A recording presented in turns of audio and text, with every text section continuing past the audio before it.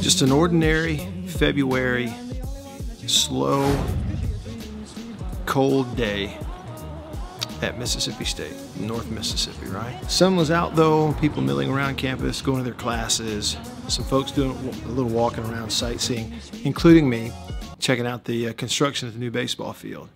And then you walk in the basketball arena, and uh, it's a sight to behold pregame without anybody in there, much less later on when there's going to be maybe 10,000 people in there.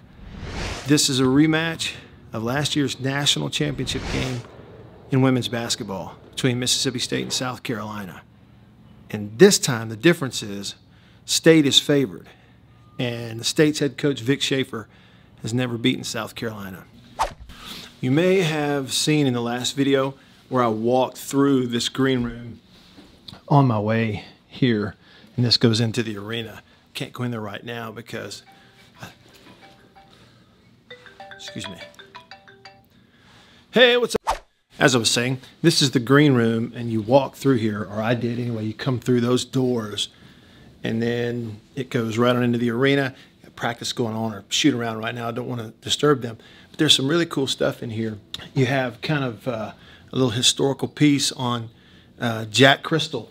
This is Jack Cristil, the legendary, longtime voice of Mississippi State sports for 58 years.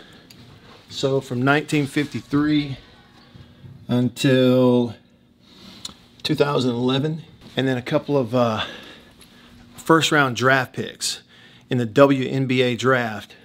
Uh, Tan White and Latoya Thomas. Latoya Thomas was in school when I was here in the late 90s, and then shortly after that, Tan White, uh, she was from Tupelo. Um, so got the jerseys. Anyway, just thought I'd show you that. The calm before the storm. Every seat in the lower section of this arena has a t-shirt and a, uh, uh, a newspaper and a uh, pom-pom shaker uh, waiting on the fan who's going to sit here. And every seat in the upper sections, those are not all t-shirts, but they all get a shaker and they get a newspaper.